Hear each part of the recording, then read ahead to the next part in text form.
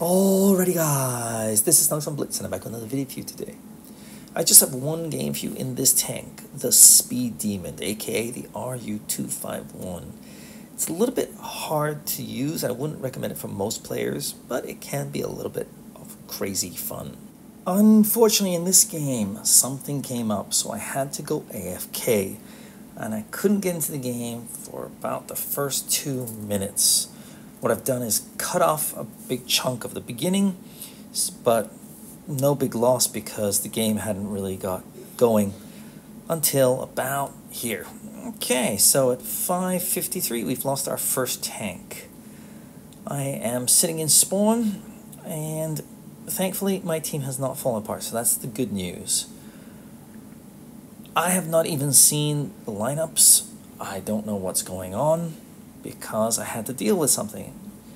As I said in a previous video a while back, iPad is not glued to my fingers, and guess what? Sometimes I have to deal with phone calls or doorbells and things like that. So when people say, oh, you started late, yeah, suck it up, Buttercup. Anyway, I'm going to help these guys out because I don't see them lasting very long, and I think this is our best chance to win the battle because the other side is just all the way over there, I couldn't even pen that guy. That's unfortunate. But I'm going to use my speed here and cause all sorts of trouble for this guy. So one shot in, that's nice. And he's going to turn his attention to me.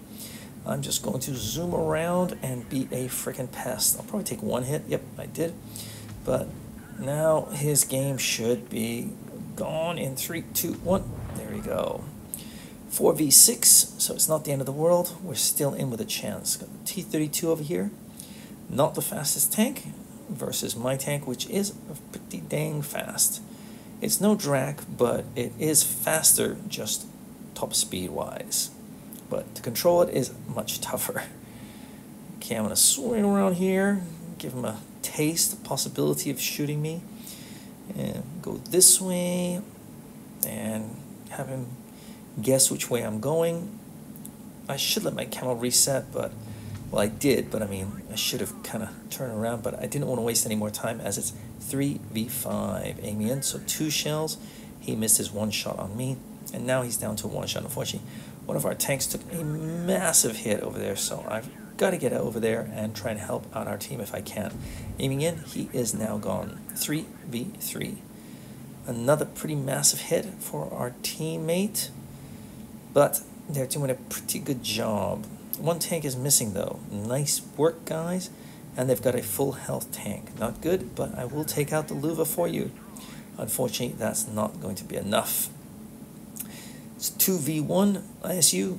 If you could do a little bit of damage, I would very much appreciate that before you die. I don't see you surviving this. Lovely stuff. Good work. I'll finish him off. Can I hit him? I can indeed, but I wasn't able to track him. And wow, did that guy miss that shot? Not entirely sure why the T-30 called me. What did he say I was? All right, pure evil. Mm, a compliment if I've ever seen one. What can I say? We should have lost that game. It was 6v7, down a tier 8 tank. Me, it's my fault.